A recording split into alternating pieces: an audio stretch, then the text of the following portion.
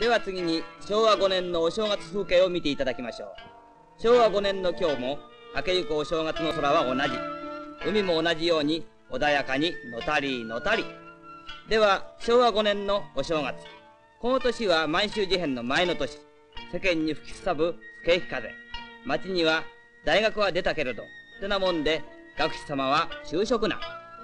金一円なりの円卓も乗り手が少ないという浮かないお正月でした。それでも新しい年を迎えて、今年こそは何とかなるようにと、新年を祝ってました。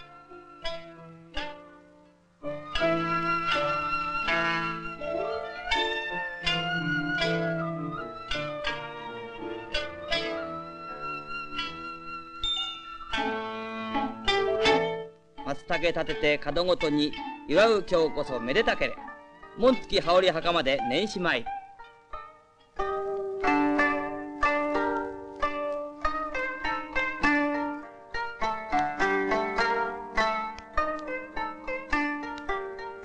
正月だ、円卓を持ちまえ。いってらっしゃい。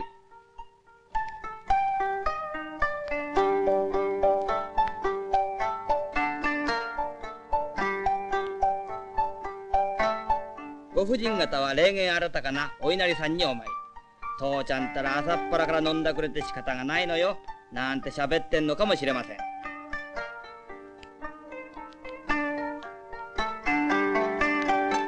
綺麗なおべべ着て、お年玉の代わりに買ってもらったブランコに乗って遊びます。当時、こんなブランコが35円ぐらい。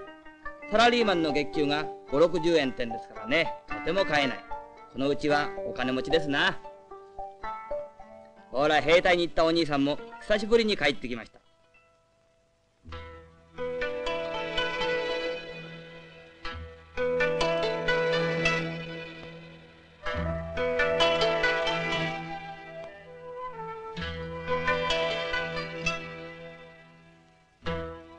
ちらのうちでは記念撮影。大人も子供もニコニコ。今日ばかりはケーキ忘れて。